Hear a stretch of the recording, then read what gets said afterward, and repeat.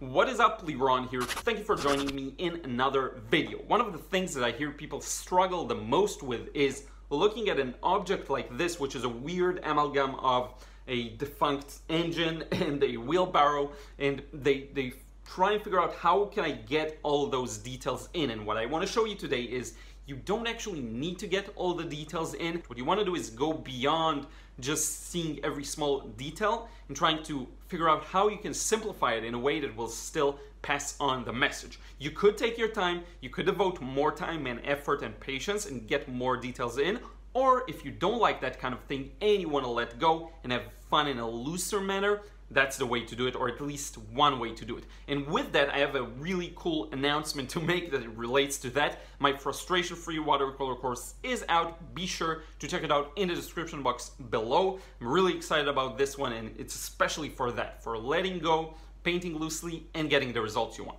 So with that being said, let's get started. So in this example, for me, it's all about the simplification, and I'm gonna do my best uh, to convey that to you with uh, this uh, lesson.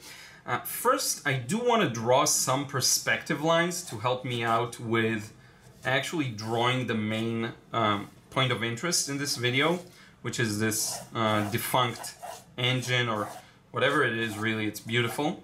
So just a couple of perspective lines, we'll see how we make use of them, but I do want to put more emphasis on the actual object. So instead of taking up this space, I'm gonna have it take up a lot more uh, percentage-wise from my, uh, my paper. This line is almost vertical, so here we go, like this. I just need to make sure I have enough place uh, around the bottom to, to have all of the details. You know, I may have exaggerated the perspective a tiny bit. That's fine. Like so. This part gets rounder. We can we have a nice opportunity to do some warm and cool uh, plays here. That's gonna be very nice, I think. So let's end it here. Let's do this kind of thing just to make sure my proportions are somewhat accurate. Now this foliage here, this little, I don't know, plants, it's all one big piece of something for me. I don't break it off into individual shapes. I just do a bit of details here you see around the edges, but that's pretty much it. It's one lump of, uh, of, of plants. And that's a better way of treating it than trying to draw every individual leaf. It'll kill you. You really, there's no chance you'll be able to do that. So now for the rest of the details. We have the uh, wheels. It's not even tires, it's just wheels. So this goes a little further and here we have one wheel. And, and circles are very challenging to draw sometimes in the right um, angle and size. So we'll do our best and if it's not perfect, that's fine. We have another one here and it's touching the edge of this one. So that's a good trick for you to know where to draw it. Same goes for this one at the back here. And we have an awful lot of details. I'm gonna do my best to get these uh, to look right. And to simplify, we're gonna have just um, the highlights as white. I'm gonna use the paper white for all of these highlights, okay? Uh, I'm not gonna do an initial light wash and then another. I'm gonna do an initial light wash, but the these highlights I'm going to leave white, okay? Uh, so here we have this part at the back. Now, a major part that's interesting here is actually the uh, shadow, the cast shadow. So here's a part of the uh, wheel shadow. We have a couple of other rather prominent shadows around here. Um, there is a huge shadow going through parallel like this. Feels to me kind of a waste so what I'm gonna do is have a drop, a, a shadow cast by this object and then have the major shadow come from the back. I don't know if that's gonna be a risk because then I have to make things up. We'll see how it goes. We'll play it by ear. Then we have all of these details inside. The wheel, then the shadow at the back. This line doesn't exist. I'll get rid of it maybe later on. This entire section's in the shadow. We have this nice little archway or whatever that is. So kind of like that. And that's pretty much everything we get to put in this painting. I'm not going to do the other side here because it'll make this area too thin. There is this shadowy part around the wall and then there's a window here at the back. A little taller. But I think that's pretty much it. And I'm gonna try and get this uh, looking nice here in, in pretty much in uh, one go, two layers probably, paint around the highlights and the different details, play it by ear and hope for the best. So let's get started, mix some paint here. I'm gonna use this large brush. Um, I don't know, that may be a risk, but I wanna have some fun and, and loosen up a bit. So let's do that kind of thing. The background is fairly neutral, so let's just get a bit of a neutral thing going on here. Um, like this. All of this is in the shadow. Now I'm painting around the foliage that's light. Some of it is very light. Let's add a bit of blue here. Just blue it up a little bit. All of this is in the shadow, like so. All of this is one big shadowy shape. Here I'm leaving some highlights and maybe some dry brush for the foliage spilling out of the, the actual thing, however you want to call it. I'm going to warm up the ground a bit. So a bit more red and just warming it up. I need to be mindful of this edge as it's going to dry. So here we go, covering it up. We'll get to this point in just a moment. Uh, to this part, sorry. And here is the shadow coming through here. I will draw it here. I don't know if it's a smart move, but let's do that. And here, and here, kind of cast by this, whatever that is. And I think we're good on that side. Now, let's use a bit more blue on this section and notice how I'm not afraid to travel around the painting. Add some details where I see fit. You have to be able to find the work process that works for you and feel the freedom to do it. So for me here, it means traveling around the, the, the painting. You're working on one section, working on another one, and it's, uh, it's fine to work in one method every single time, but I find that I like to have the freedom to work in multiple different methods if I want to, which is why I strongly advise to work those freedom muscles as well, and not just the technique. So here we come to the complex part. Um, so I want to um, paint around these. Let's switch to a smaller brush just for this section here. And let's work our way around that wheel at the front let's work our way around this little shape here and around this part. Here we have to close it off and I think we got the external shape done pretty much. Just this wheel, let's indicate that it's a wheel and it's round around here. And that's pretty much it for this shape. So now let's start indicating the shadowy areas. I'm gonna just work on this one randomly actually. I'm, I'm, having a lot of fun. So a bit of shadows under the leaves here, a bit more dry brush is what I imagined. Just to get some kind of a feeling of leaves perhaps, or a texture. And you don't have the luxury of drawing the shapes when you work in this simple manner, so you just have to indicate and hope it reads well. Let's put a bit of yellow in there. Like so. And I don't mind it blending into the blue here, that's fine. Now around the bottom, the blue gets fairly dark, so let's get that thing going around here, see? And then we have the actual uh, shape of the this thing. So I'm going to start shading um, just according to what I see, just doing the shapes I see. And that's the messy part. That's the part where you just have to go for it. You have no choice.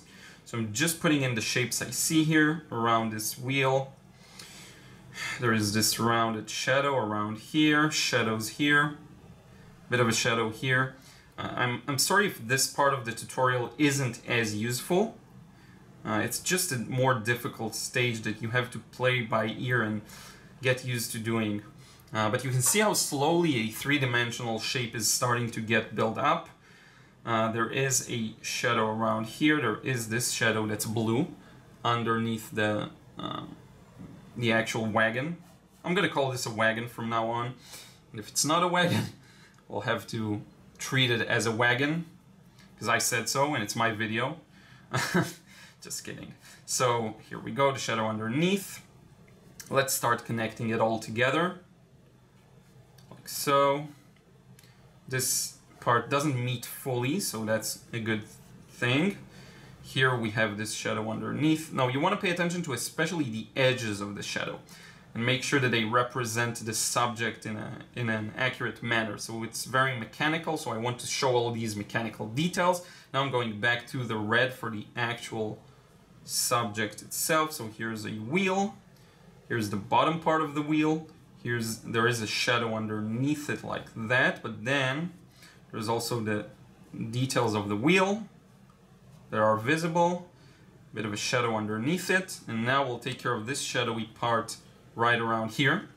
There's a shadow coming through here. And try to squint your eyes, and that really helps in seeing the shapes more accurately sometimes. Because honestly, I have no idea what this will produce. I'm just rendering it as I see it. It's not the best way, and if I uh, if I had worked uh, in a more detailed, larger piece, I'll probably be more careful. But here, I just want to get the main impression going. So hopefully that will be enough for that kind of thing. Okay, you have to remember that for different, for varying levels of complexity, you have to have varying levels of uh, sketches. And for me here, this one's all about simplicity.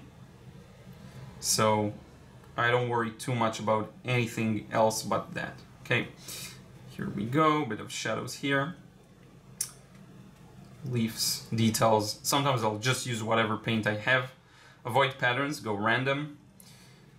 And I think let's have these two shadows meet in some areas.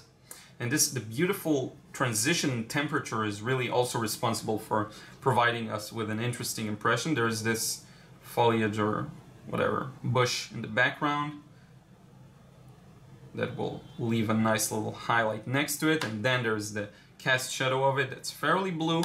So let's blue it up a bit and then cast its shadow around here. And um, I think we can take a break, take a pause from this section. Let's go back to the background. Start darkening it up because that will really help bring out some shapes. So a bit of everything really and perhaps I'll rely more on the Carbazole Violet to get this to look fairly dark.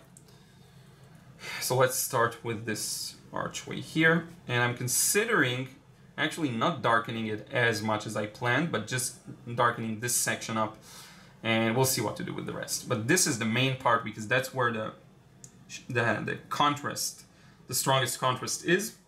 So I want to make sure I get these mechanical shapes looking right. This is actually a toothed uh, wheel mechanical part, so let's get that tooth uh, shape in there. Then around this bush thing, then around this square box shape, like so. And hopefully that makes sense, like this. There is a strong shadow here. This entire part is in the shadow. This is a shadow there is a shadow of the other wheel, there is the shape of the other wheel, that makes a whole lot more sense now. A bit of a shadow in the cast shadow. And funny enough, this is really close to finishing, but I will add a bit of details to the window here. Let's dry brush them. I'm gonna do something interesting. Let's, um, let's try and get an interesting effect here. So a bit of a dry brush for the window. Almost dry brush. like so. Maybe get more paint and then wipe off some of the moisture here on the towel. Now this looks a little better. What I want to do is I'm going to darken this area up and with these kinds of paintings you really, you either get it or you don't and that's fine because there's such a challenge. So here what I'm going to do is just spray a bit of water on it and help it blend, okay? To show that this is a part of the background. Um, and now we just have to examine the, the main shape and figure out what's missing to get it to maybe read better. Okay, so maybe a heavier shadow underneath this area. Maybe this shape, I need to close it off more accurately. So here we go, like this. Like this also on this side. We have this interesting shadow in the highlight, like so. A bit of a line here. Um, what else? Just squinting my eyes, trying to figure out if I get the shape right. I think we're, we actually got most of the shapes right. Now it's just time to add some details in. So a bit of everything really. Mix it all up in a fairly dry manner. And I'm just gonna add these details here on the uh, wheels. Because we kind of missed them the first time around. Then here as well in the shadow. These are really gonna help to showcase this. And you notice how we painted it in a very alla prima way, even though I didn't necessarily plan for that because sometimes the painting just takes you with it. You have to kind of go with what it offers and enjoy it. Like I'm doing now, just I decided to work on this corner again, strengthen it a bit, and this is what I'm doing. Very spontaneous decision, but I'm happy with it. Few darker touches in the window here at the back. And actually looking back and squinting my eyes, I think something that's missing is just darkening everything here a little tiny bit okay? So I'm gonna take a risk and do it, and if I mess it up, I mess it up, but we'll give it a try. Darkening this up just a tad bit more, okay? This whole area at the back may seem super dark right now, and it does kind of erase the window, but that's fine. We can bring it back later on. Like so, just to get a bit of a stronger contrast with the this part here. And this rounded shadow at the bottom, I do need to patch up a little, make sure it's right. So here we go. Messed it up. I'm gonna dab this real fast. Come back from the other side, maybe with a smaller brush. So now you see me fixing mistakes on the fly. That's just a part of it. And now it makes a little more sense. And perhaps darkening it now while it's still wet. There is this wall here at the back, like so, and then the window. Now it's my chance to get it more accurately. Like this, and now I think the impression is so much better. Uh, around the bottom here, I'm gonna patch it up a little bit. Also around here. That's it. Here we go. Uh, a bit of a darker shadow on the... You see now I'm just going over it. I'm not too worried about, you know, if I messed things up or if it looks perfect, I'm just trying to figure out what areas could use some touches, okay? And if you, at this point, judge yourself and go, oh, I don't see it, or I messed things up, you'll never get it. You have to really give yourself the freedom and time to go over it, find what parts you may have messed up, what parts don't look right. And for example, I put in this, this is beautiful, into the wet and wet. This looks really good. Uh, and then I'm gonna add to contrast it some shadows on the, the highlighted area here. See? That looks really nice. Like this, and we pretty much, I think, got it. I don't want to add anything else. This looks good now. Uh, so you can see how very quickly you can create a beautiful impression of what you see. It doesn't have to be 100% accurate, um, but I do think it looks excellent.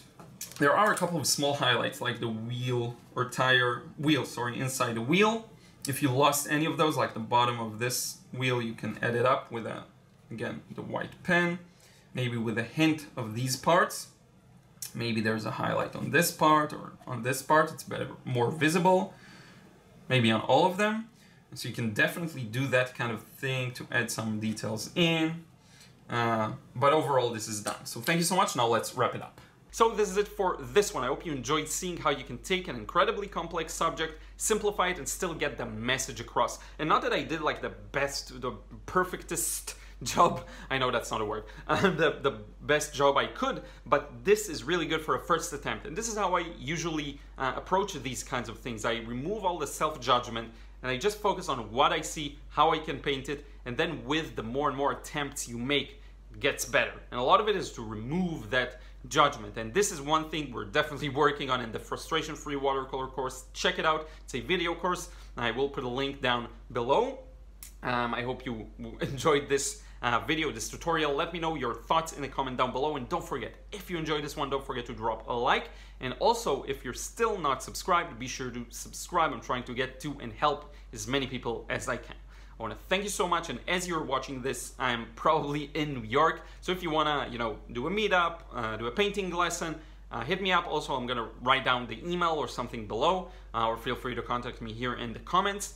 Hope to see you, and I will talk to you again in the next one real soon.